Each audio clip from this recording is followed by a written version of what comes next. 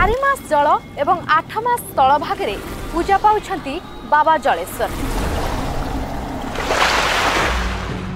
ওলটা পদ্মরে প্রথমে বাবাঙ্কু দর্শন করে রাজা পদ্মকেশরী